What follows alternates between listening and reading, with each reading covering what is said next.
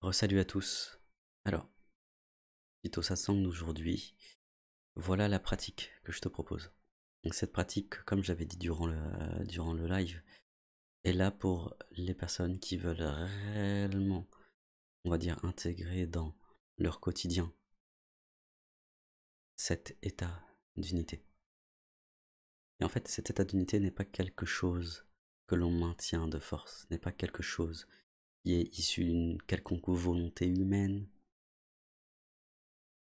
Il n'y a aucun prérequis pour y arriver. Il n'y a même pas de chemin pour y arriver. Parce que c'est quelque chose qui ne nécessite rien d'autre et rien du tout pour se vivre. Et donc, la pratique. La pratique est celle-ci. Chaque fois qu'il y aura la perception, à chaque fois que tu vas percevoir une pensée, une parole, des émotions, un objet, que ça vienne de toi, que ça vienne des autres, il y a simplement à déclarer ceci. Ce qui est perçu est une histoire qui se raconte, est une fiction. Ce qui est perçu est l'unité, est la conscience, est la présence, est l'être, est l'univers. Peu importe le mot que tu utilises tant que ça te va à toi. C'est une perception naturelle en fait. Dans ce non-effort, dans ce non-effort de percevoir la vie, c'est un non-effort de percevoir la vie comme cela il n'y a pas de différence entre toi et l'objet le plus proche. Il n'y a pas de différence entre les différents objets, entre toi et l'autre personne. Et quand je dis toi, je ne fais pas référence à l'identité, à ce je suis ceci, je suis cela. Je fais référence à cette vérité impersonnel, à cette conscience sans forme qui existe et qui est, et qui transcende tous les petits je suis, tous les petits bouts d'ego que tu peux vivre. Et donc je répète la, la pratique de la semaine.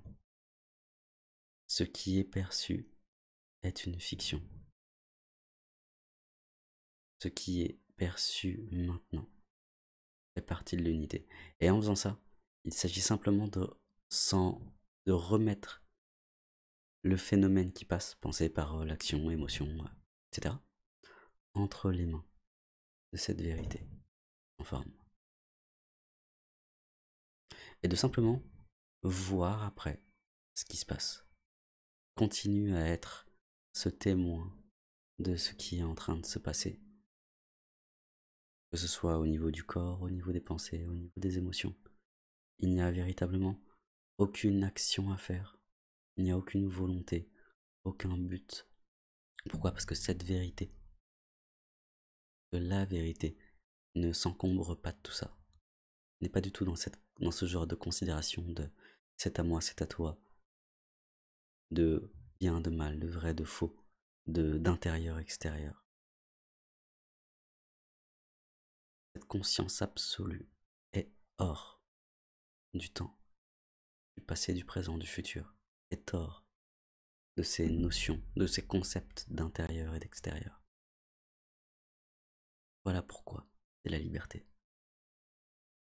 Que vivre cette conscience, en tant que cette conscience,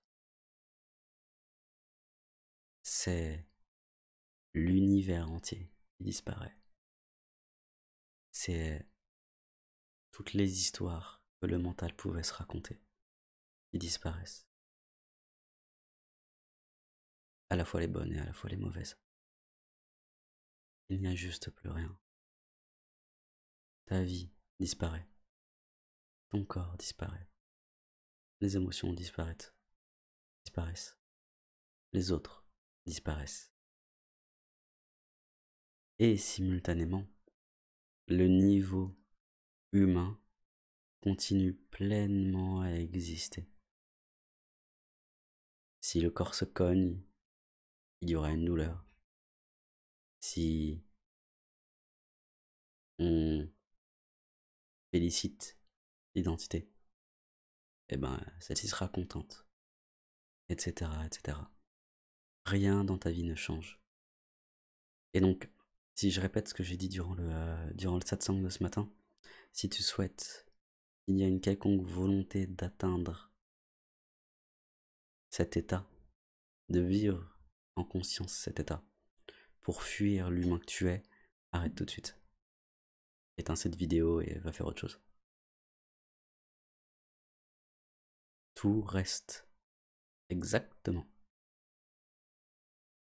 comme tout a toujours été. Tu mets ta main au-dessus d'un feu, tu seras brûlé. Voilà ce qui devait être dit pour aujourd'hui. Merci d'avoir regardé cette vidéo. Euh, je vais la poster sur le groupe Facebook les mercredis de l'éveil, mais euh, elle reste disponible sur ma chaîne YouTube. En attendant, je te souhaite une euh, chouette semaine, chouette après-midi. Je te donne rendez-vous ce soir cartographie de l'inconscient, même endroit et donc c'est-à-dire ma chaîne YouTube et même heure, 19h. Salut